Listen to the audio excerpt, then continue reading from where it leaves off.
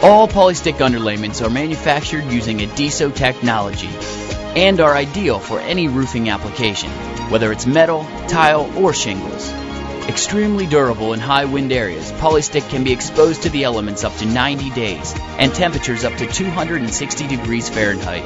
While each product features its own unique benefits, all products